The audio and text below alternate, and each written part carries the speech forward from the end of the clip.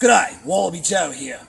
Saturday, October 28th at Outlaw Championship Wrestling Alliance. I am in the Battle Royal for the Georgia Premier Wrestling Championship.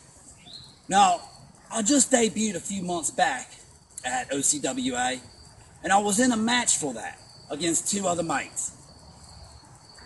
Let's just say the mate who won obviously couldn't stand representing that championship, so it's now vacated. And I stand to be in the ring with a handful of probably other pretty good wrestlers in there. But none of them have faced Wallabee Joe. I've held many championships in North Carolina, and I've beat many, many wrestlers in North Carolina. Now I'm down here in Georgia, and I'm going to tell you, mate, it's going to be a new experience and a whole new world. Outlaw Championship Wrestling Alliance, you're on notice. I will be your next Georgia Premier Wrestling Champion. Because I am Wallabee Joe. I am the largest shrimp on the barbie. And I am the thunder from down under. All of you mates, you may be good, but I'm better.